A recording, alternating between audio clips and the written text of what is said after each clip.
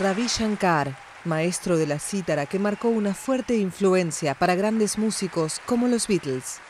El artista indio murió a los 92 años este martes en un hospital de San Diego, California, tras una intervención quirúrgica. Los Beatles lo llamaban el padrino de la música mundial.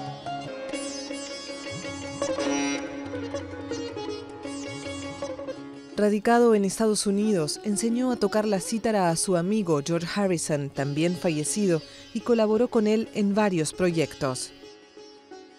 Padre de la cantante norteamericana Nora Jones, Ravi Shankar ganó tres premios Grammy en 1967, 1972 y en 2001 por su círculo completo en el Carnegie Hall, en Nueva York.